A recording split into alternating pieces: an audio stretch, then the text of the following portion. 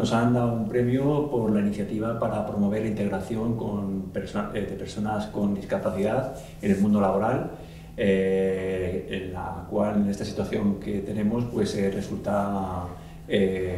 muy interesante y sobre todo motivo de orgullo. Como pues varias líneas, no solo a nivel social, sino a nivel medio ambiente, eh, temas de energía y de alguna manera me consta que la compañía trabaja en estas líneas en diferentes proyectos y dando la importancia que se merece.